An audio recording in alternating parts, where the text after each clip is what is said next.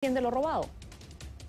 Hola, ¿qué tal? Buenas tardes y también a los amigos televidentes. Cuadra 12 de la avenida Antunes de Mayolo en el distrito de Los Olivos. Este local de una empresa de telefonía conocida ha sido pues eh, blanco de la delincuencia esta madrugada, pues según eh, testimonios y vecinos de la zona, a las 4 de la mañana aproximadamente, un grupo de delincuentes llegaron hasta este lugar muy comercial, dicho sea de paso, con un vehículo para poder, digamos, eh, forcejear la puerta, han usado una, un auto, por lo que habrían, digamos, enganchado por la parte de abajo de eh, esa puerta corrediza y jalar de esta forma eh, esta estructura metálica. Como ustedes pueden ver, hay candados de por medio, ¿no? Alrededor, en, todo, en todas las dos puertas de este local candados que no han sido forcejeados, que se han quedado intactos en eh, esa estructura.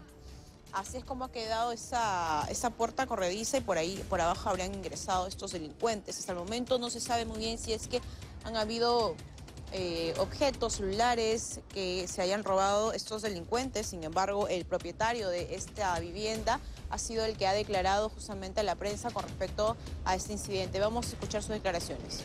Aproximadamente a las 4 de la mañana. Eh, mi esposa escucha bulla, eh, sonidos este, estridentes, a raíz de eso se despierta y me despierta a mí y me dice que algo pasa en la tienda de Vitel, que inmediatamente yo me constituyo y efectivamente verifico que han violentado la puerta de enrollable, aparentemente eh, amarrando con una cadena a la parte trasera de un vehículo. Eh, con eso han jalado y eh, logran abrir la puerta. Inmediatamente hemos tratado de llamar a Serenajo y no pudimos comunicarnos, pero posiblemente alguna otra persona que ha estado pasando ha visto, habrían también comunicado y al rato llegaron como cuatro o cinco camionetas de Serenajo. La policía nunca llegó recién a las 5 de la mañana. Una hora después. Una hora después.